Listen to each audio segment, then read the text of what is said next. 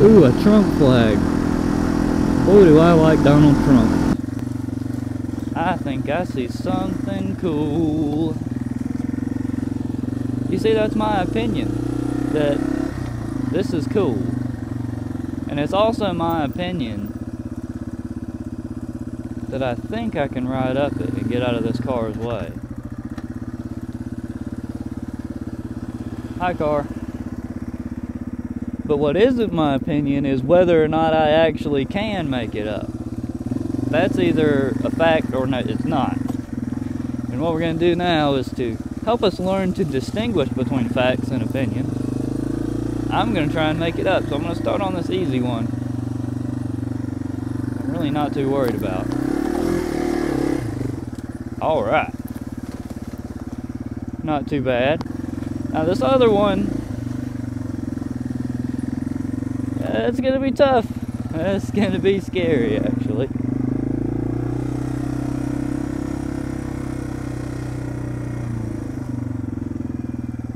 But going down is probably gonna be more scary.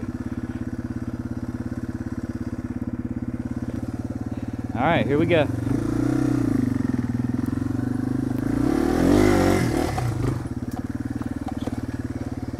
Oh, man. Ooh. Alright, so we found another fact. Fact. I can ride up that hill. Give you an idea how steep that was, my knee hit the handlebar. Alright, so that's a good way to start the, the vlog on facts versus opinions, more specifically, why your opinions don't matter and neither do mine. So either it's a fact that I can make it up the hill, or it's a fact that I can't make it up the hill. So if someone would have asked me what my opinion is on whether or not I can make it up the hill, before I'd done it, before I had any way of knowing, I would have had to say, I don't know. Because if I had an opinion on whether or not I could make it up, without really knowing whether or not I can make it up, that opinion would not be worth much. So, the same sort of thing applies when someone asks you about some important political issue and you try and give them your opinion on it. It doesn't mean much. So, rather than offer your opinion, what you should try and do is offer the truth and then maybe offer evidence and facts to back that up if you can. Road closed. Well, I'm no scoundrel, so I'll leave it be.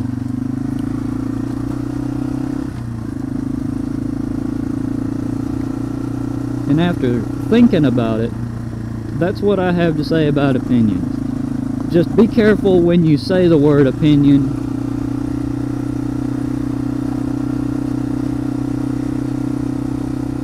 So let's think about let's think about when we hear people tell us their opinions when it comes to politics. So a lot of people they'll have an opinion on the border wall. And you'll ask them what do you think of the border wall? And it is true you're asking them their opinion. But since you're asking them what you think, you ought to already know that what their answer is is only going to tell you about them, not about the border wall. And of course their response will be, I think the border wall, my opinion is that the border wall, something like that, something that means nothing. But I'll stop boring you with that and we'll get to some really interesting stuff here in a minute. So just so you know, this is about attempt number five on Adam trying to record this section of the moto vlog where I actually talk about politics, about opinions, about ideas. But after this, we go on an adventure yesterday. So here in a second, I'm going to cut to yesterday, and we're going to go on a big old adventure. So I'll see you then. Peace. There's a bug in my helmet. Hopefully he makes his way out. If I could see around this turn, that would be a nice little place to kind of dip down and, and go in that turn. But I would also get hit by a Ford F450 coming the other way, so not worth it to me.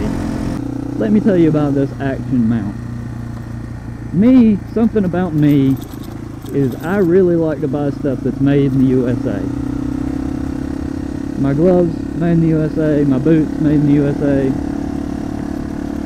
Not much you, else you can find made in the USA that I have on me right now. But the action mount supposed to be made in the USA, so I buy it. $20, okay? On Amazon. There's bunches of other ones that are like $9 from China. And I'm like, well, I like to, uh, to support my fellow Americans, so I'll, I'll dish out an extra 10 for this American. I get the package. Get this. The harness. Well, okay, the actual mount where the camera is that I just stuck my hand in front of, I think. Sorry about that. Made in USA. Inside the bag that says made in USA, there's another bag. And this bag says made in China. And it has the actual harness. So half of this thing is made in China. But they market it as made in the USA. Not cool. So, I'm going to tell you guys, if you guys are looking at getting one of these chest mounts, don't get the Action mount. Save yourself 10 bucks and buy a cheap Chinese one. Because Action mount is a bunch of lying thieves. Get some super speed going here.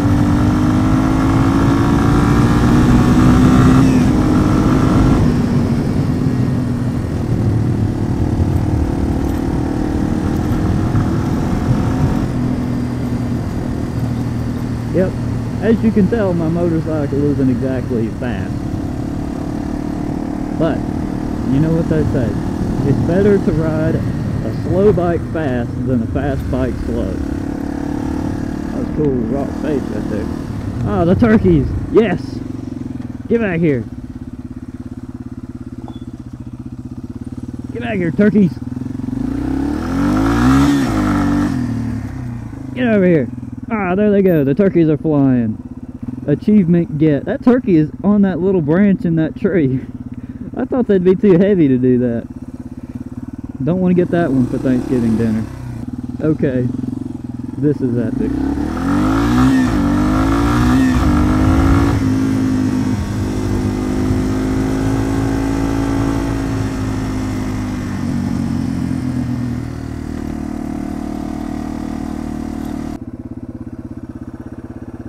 Do you think? Think I can handle that?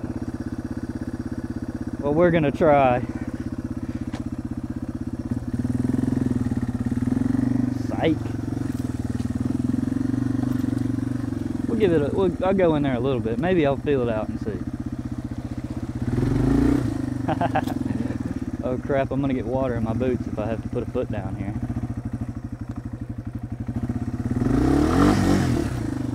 Oh shoot, what have I done? What have I done? No! Oh! No! Oh! Oh man! Well, this sucks.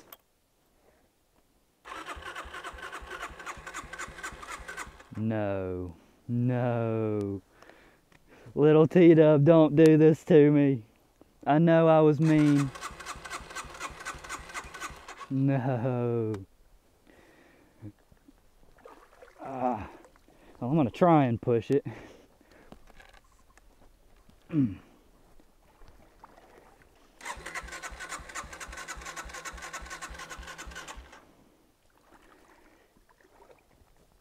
God, that's really deep.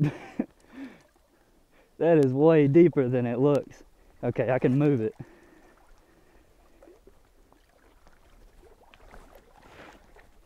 Try doing this on a 1200 GS. If I can get it in neutral.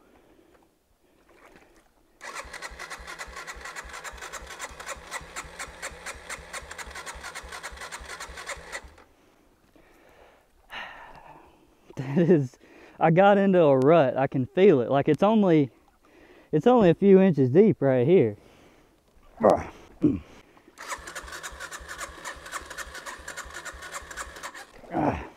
The back end of this thing is lighter than the front end. Oh shit. Okay. Local teen dies after drowning as his motorcycle fell on top of him. According to the coroner's report, that kid's a dumbass.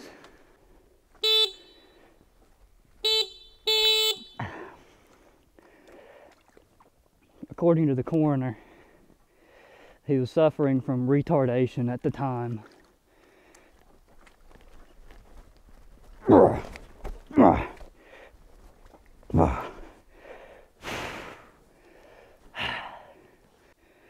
Oh, that's awful.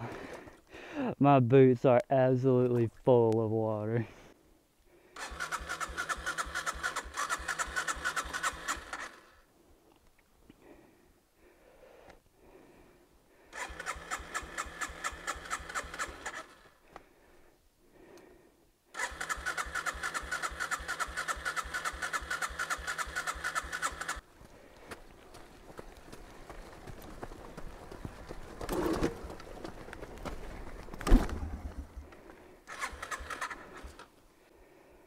Well, I'm gonna cut the video off. See if I can get this thing running. So, pulled the air filter.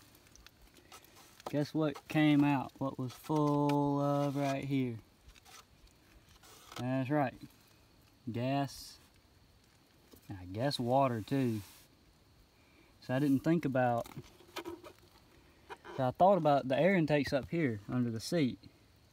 But the air box is here and I believe that it might have been underwater. Also, the battery is dead. It'll barely turn over, but yeah.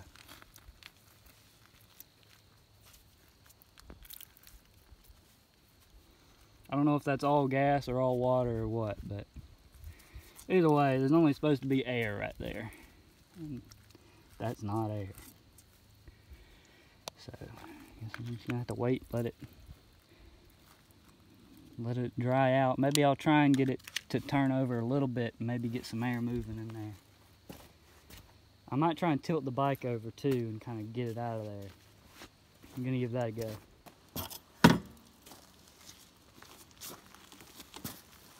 Oh yeah, there is water coming out of that.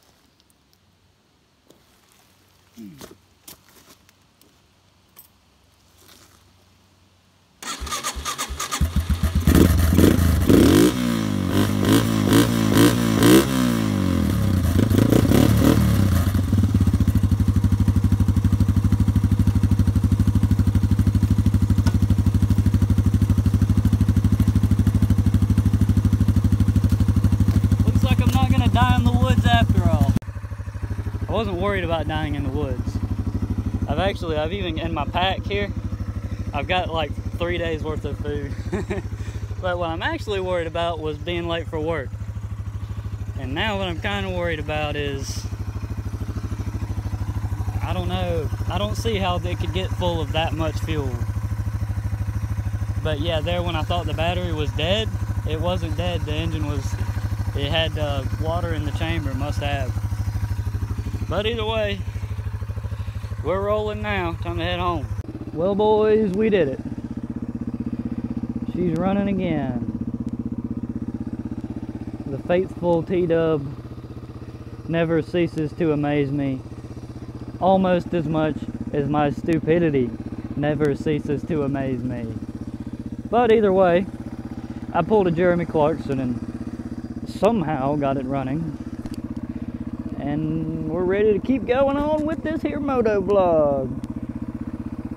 So, I guess I'm gonna try and get home so I can get ready for work and not be late. So the next bit of this moto vlog might be at a little bit higher speed. Speed and power. I'm also gonna do that in the spirit of Jeremy Clarkson. See, before in the spirit of Jeremy Clarkson, I was doing manual labor. Now, I'm going to be using speed and power. That's the, that's it. that's all the power. Oh, we gotta go down here. Look at that. That's a that's a good little spill there. Yeah, this is a really cool campsite down here. If you're ever on Burrells Ford Road, this is the coolest campsite on the whole thing. Kind of stuff you get watching this channel, guys. You learn how to work on your motorcycle. Oh no, I hope I don't drown in that. You, you get to work on your motorcycle and you learn all the cool camping spots. It's everything. You learn philosophy. You learn how to think. That's what this is, guys. This is a learning channel. I'm all about the knowledge. But yeah, here you go. This is the coolest campsite on all of Burrells Ford Road. So what's cool about it is first of all, look at it. But also, the river, not the river, that's not the, the mighty Chattooga, but it's pretty dang close. Check that out. That's awesome.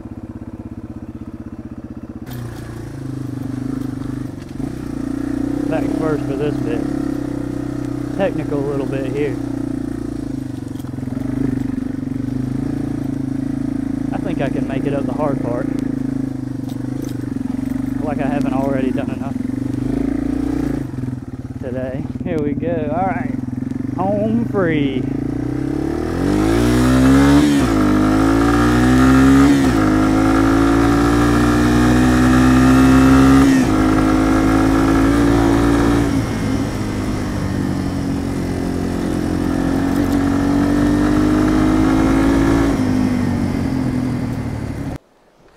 Course, I came across the wild and scenic Chattooga River, and I thought I'd let you guys take a look.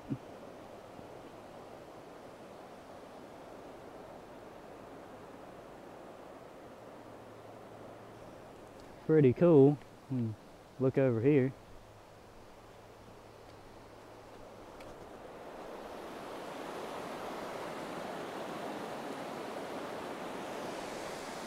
Not bad, huh? Like those trees up there. Some kind of uh, duodicious. I think that's the word. No, duodicious is like the ones with the leaves that fall off. And then the ones that don't have leaves that fall off, that have the needles, they're called evergreens. That's another thing you can learn. Those are evergreen trees. This guy thinks I'm crazy because I'm talking to myself.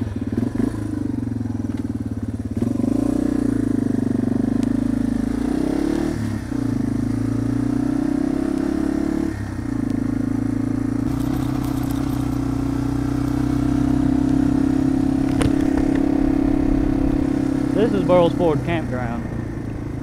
I've never been past that gate. But apparently there's a really cool waterfall down there. That's what I hear. So definitely check that out. But something cool you'll see here. That's the Foothills Trail marker. Foothills Trail crosses right here. And I have been right here and I have walked right here. Because I have walked the Foothills Trail. And if you don't know, the Foothills Trail is a 76.2 mile trail that goes from Oconee State Park to Table Rock State Park or the other way around. We went from Table Rock to Oconee. It's pretty cool, but as someone who lives around here, seeing the scenery didn't really do much for me. There, there were a lot of cool places, don't get me wrong. But after like day two, I was like, okay, I'm done. Let's let's go This is it right here. That is all she's got. Wow. Speed and power. Slow down here. Trying not to meet an F450 in the turns. You feel me?